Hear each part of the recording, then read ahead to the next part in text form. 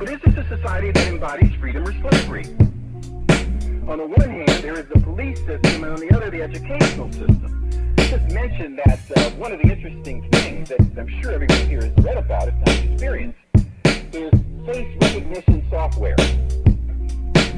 They now have um, cameras for huge sporting events. I mean, 50,000 people, where they literally take a picture of everybody that comes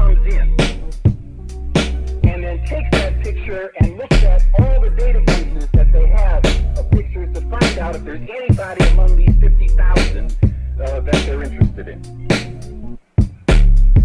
There are many, many other examples. Massive fingerprinting of people in the United States, creating these massive databases.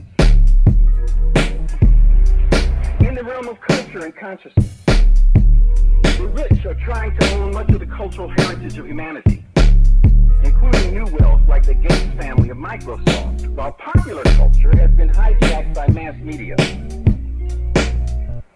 Corporations define culture in much, much of the world. Massive digitization is going on. But whose voices are missing? Herein is another polarity. Moreover, our consciousness is often manipulated by all of this.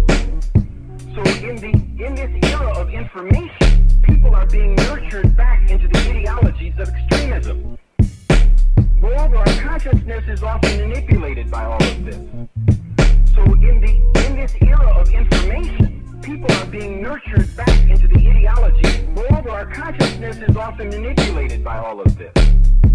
So in the in this era of information, people are being nurtured back. Moreover, our consciousness is often manipulated by all of this.